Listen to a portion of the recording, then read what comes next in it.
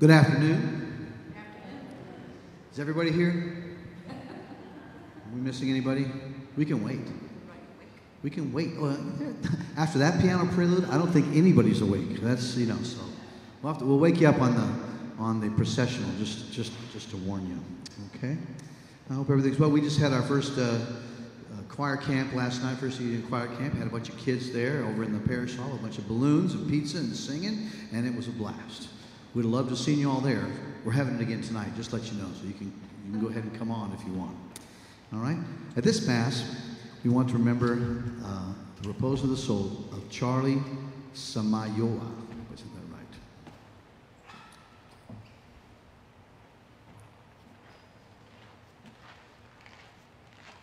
We're always so happy to see people coming during the week. You know, that's, that's always such a blessing to us. It's on Sunday, you see everybody come because they're all panicked about all the sin that's been piling up on them since, you know, the last time they were at Mass. But if you come on Wednesday, it means because hopefully you enjoy being here. Right? Linda? Yes? No? Yes? Thank you very much. You enjoy being here, and that's great. Isn't it great to be in the house of the Lord? There is a blessing for you today somewhere in this Mass. Maybe you'll be blessed every second of the Mass. You'll certainly be blessed every second that Diana is singing. But besides that, we have these readings and we have the homily, and then, of course, the Eucharist. So we hope that you'll pay attention. We want you to keep our question of the week in mind. That's the question of the week theme, just to see if your attention, just to see if I got your attention there. Keep the question of the week in mind. These questions have been mulled over by experts who duped it out ideologically to find out the absolute perfect wording to give you a, a question that will be so thought provoking it'll last until the next one. And here it is How has compassion moved you to action? How has compassion moved you to action? I'm always astounded by those YouTube videos where the entire fire department comes out to save a duckling who's gone down the drain. You ever seen those on YouTube? You ever seen those films? They're amazing. Just look up famous savings. There's kittens up trees. There's tons of them on YouTube. I mean, the entire fire department, police will come out to try to save these, these creatures. Would that we had just that amount of compassion for our fellow man, huh? Wouldn't that be great? Well, listen, just so there are no strangers among us, why don't you stand up, turn to the person next to you, and say, How has compassion moved you to action this week?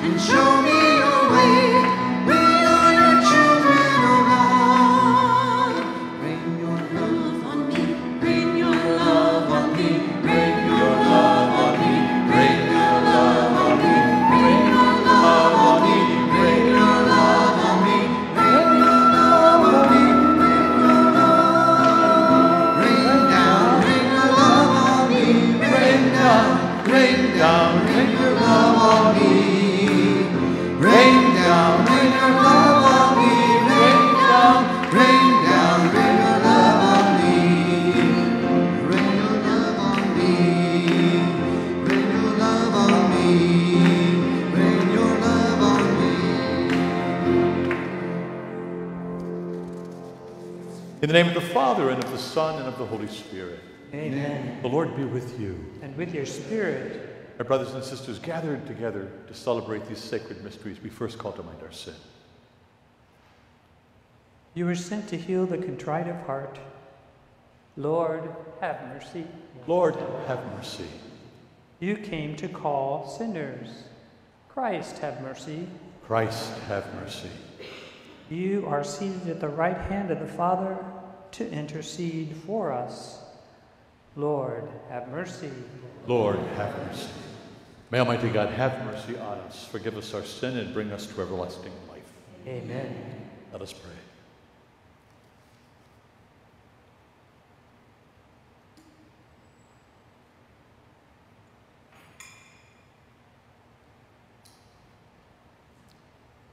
Show favor, O Lord, to your servants and mercifully increase the gifts of your grace. That made fervent in hope, faith, and charity, we may be ever watchful in keeping your commands. Through our Lord Jesus Christ, your Son, who lives and reigns with you in the unity of the Holy Spirit, God forever and ever. Amen.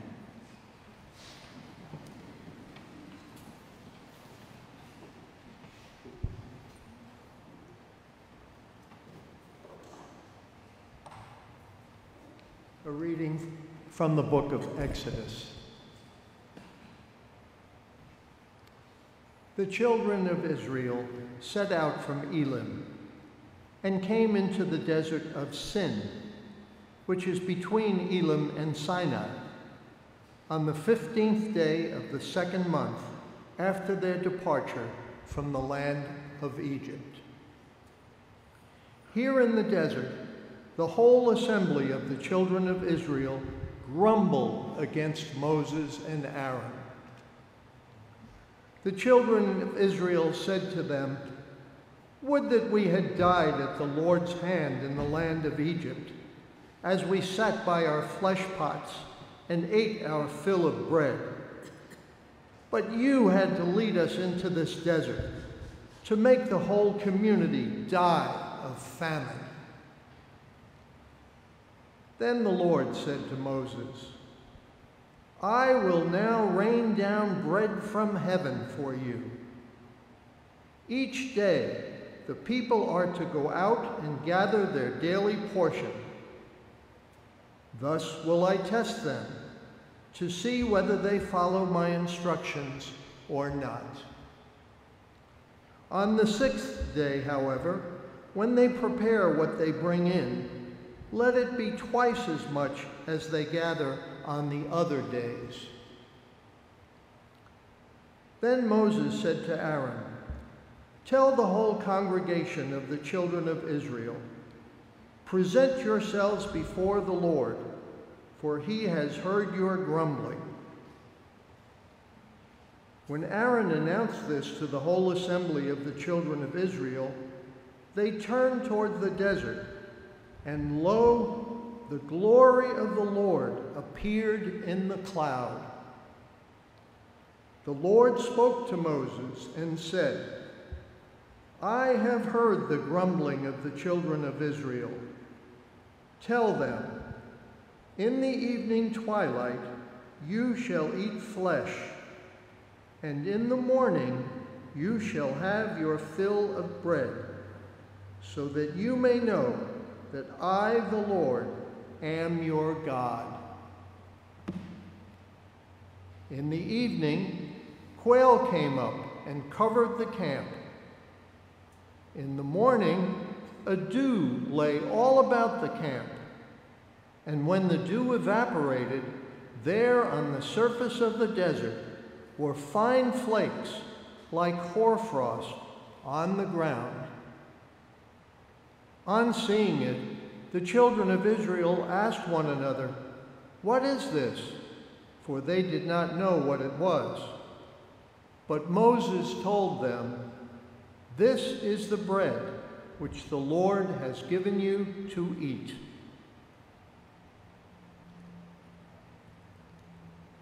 The word of the Lord.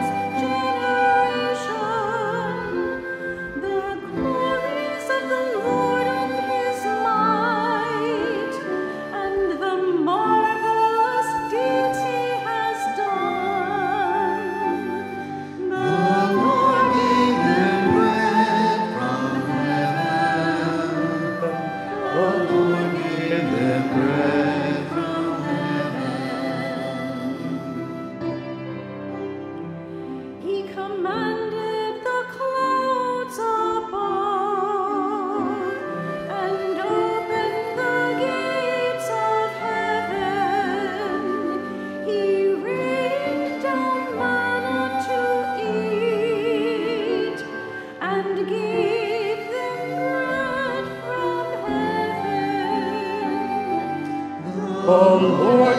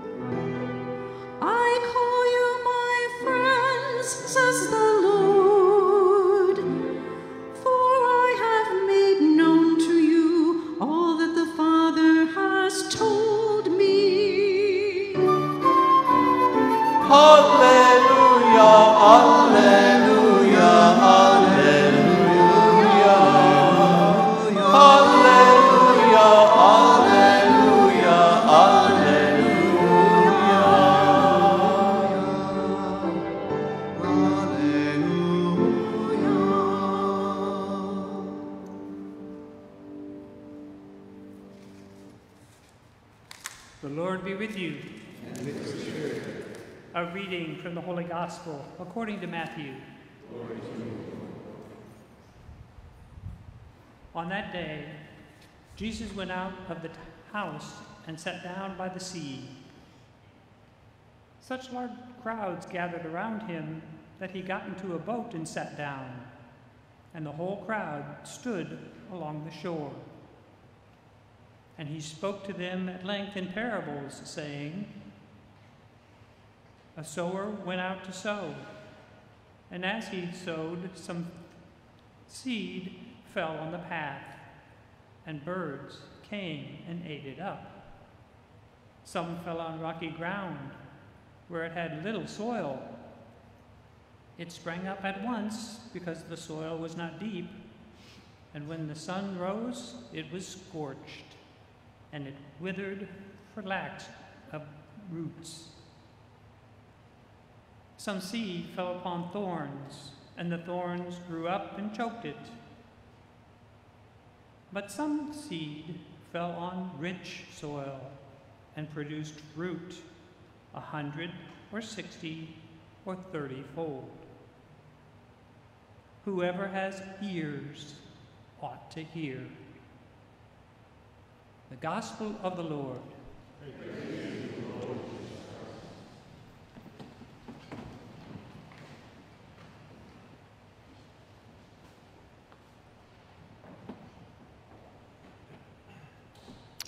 Uh, during Lent in the Liturgy of the Hours, we begin probably the first four weeks or so hearing from the book of Exodus as we have today.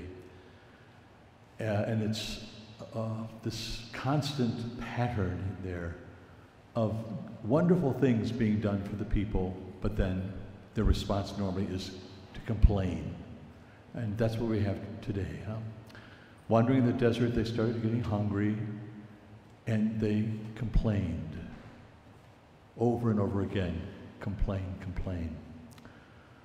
The problem is they kept forgetting what had been done for them.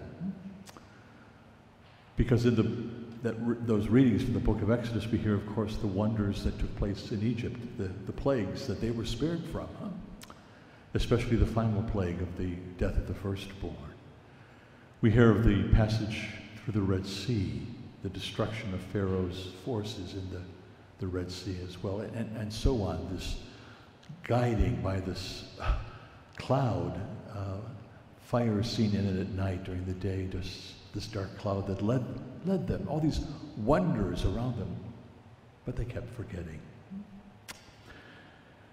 And so, to the message then for us uh, do not forget the works of the Lord, as uh, one of our responsorial psalms says. Do not forget the works of the Lord. When we are in difficulties, when troubles beset us, when indeed hard times come, and they will, all the time, we will experience hard times. It's for us to remember, huh? to remember all the good that God has done for us, all the many blessings that we have received from his hand. And especially as we heard in today's reading with this gift of the manna, this meal that he sets before us, in which we are fed with none other than his very Son.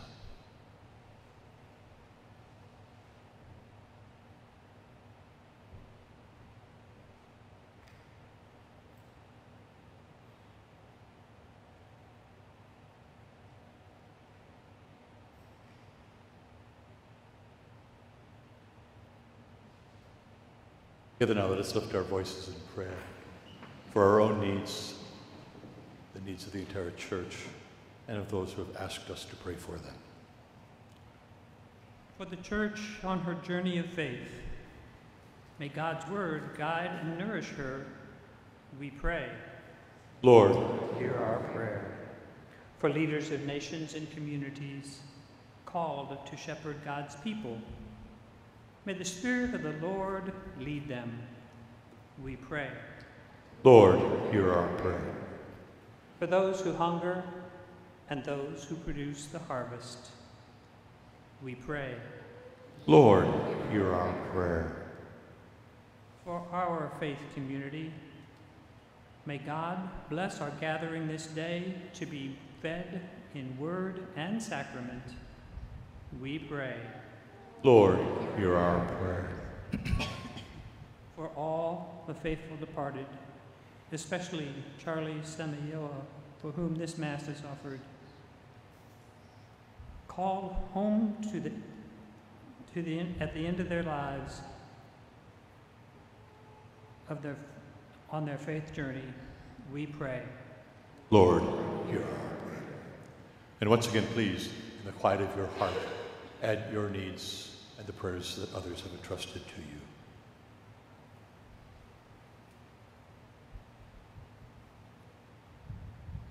For all these needs, we pray.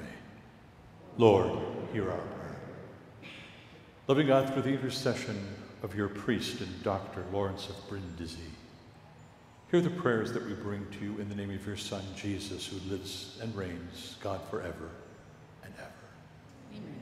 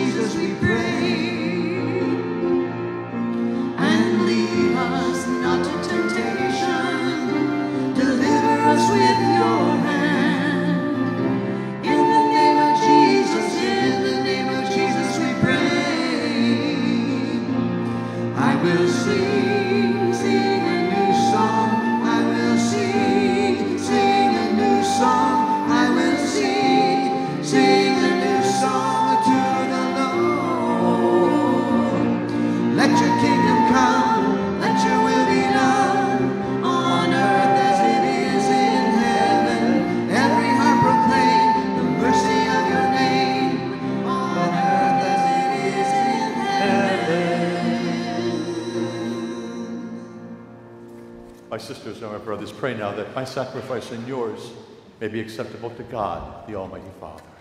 May the Lord accept the sacrifice at your hands for the praise and glory of His name, for our good, the good of all God's holy church.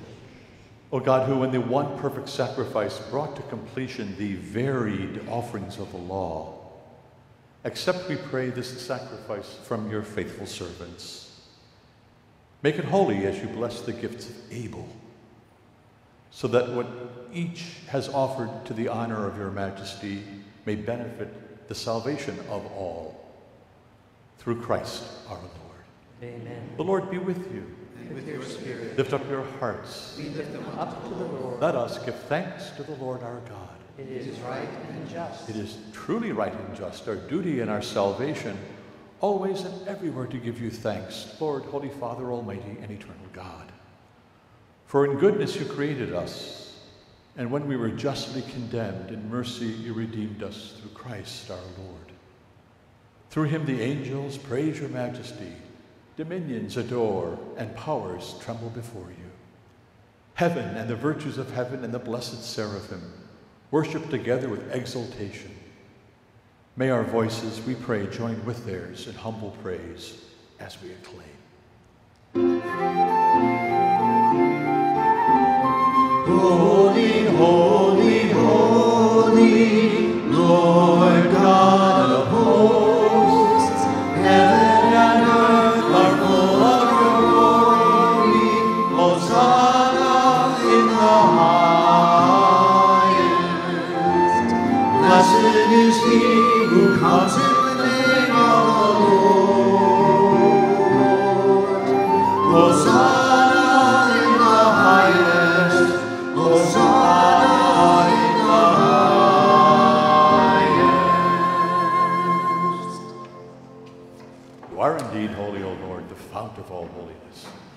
Make holy, therefore, these gifts, we pray, by sending down your Spirit upon them like the dewfall, so that they may become for us the body and blood of our Lord Jesus Christ.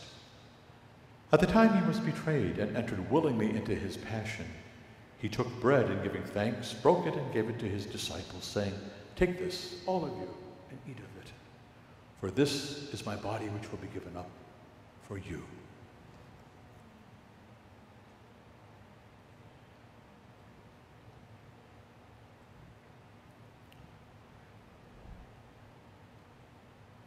In a similar way, when supper was ended, he took the chalice, and once more giving thanks, he gave it to his disciples, saying, Take this, all of you, and drink from it. For this is the chalice of my blood, the blood of the new and eternal covenant, which will be poured out for you and for many for the forgiveness of sins. Do this in memory of me.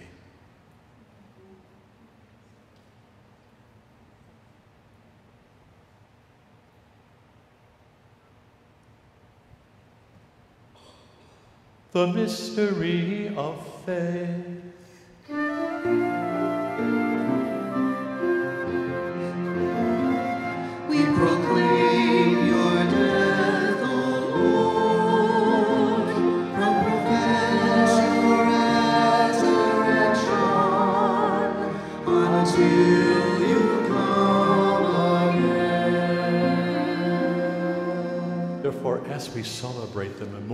His death and resurrection, we offer you, Lord, the bread of life and the chalice of salvation, giving thanks that you have held us worthy to be in your presence and minister to you. Humbly we pray that partaking of the body and blood of Christ, we may be gathered into one by the Holy Spirit. Remember, Lord, your church spread throughout the world and bring her to the fullness of charity, together with Francis, our Pope, and Gregory John, our Bishop. his brother bishops Bernard and Joel, and. Remember also our brothers and sisters who have fallen asleep in the hope of the resurrection, and all who have died in your mercy. Welcome them into the light of your face. Have mercy on us all, we pray, that with the Blessed Virgin Mary, Mother of God, with Blessed Joseph, her spouse, with the blessed apostles and all the saints who have pleased you throughout the ages, we may merit to be co heirs to eternal life and may praise and glorify you through your Son, Jesus Christ. Through him and with him and in him, O God, Almighty Father, in the unity of the Holy Spirit, all glory and honor is yours forever and ever.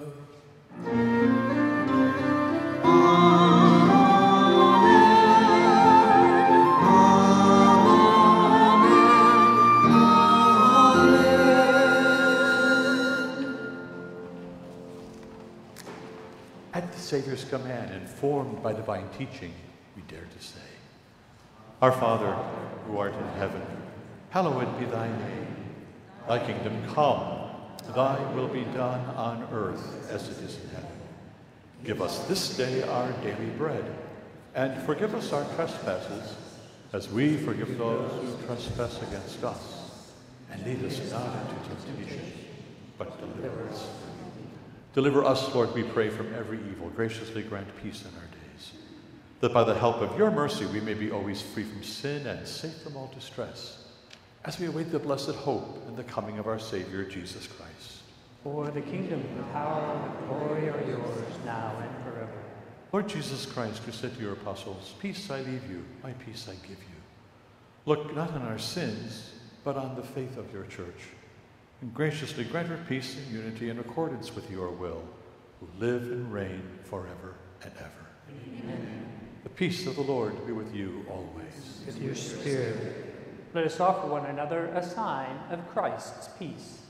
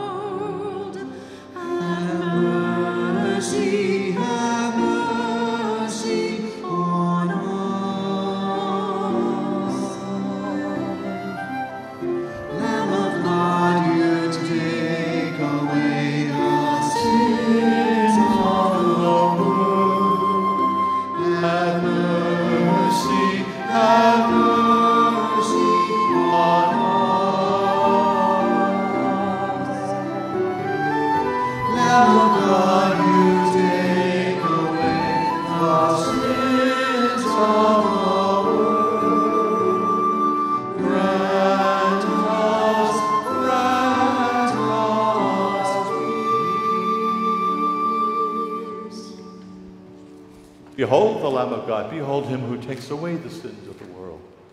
Blessed are those called to the supper of the Lamb. Lord, I am not worthy that you should enter under my roof, but only say the word, and my soul shall be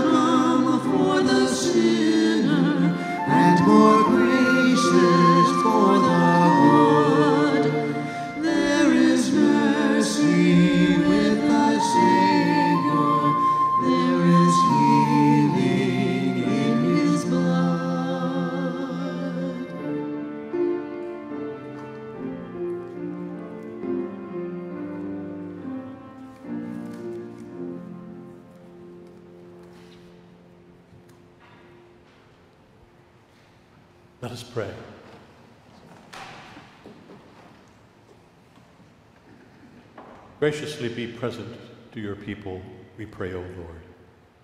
And lead those you have imbued with heavenly mysteries to pass from former ways to newness of life. Through Christ our Lord. Amen. We're about to begin exposition with the Eucharistic hymn and incensation. If you wish to depart, you may do so now.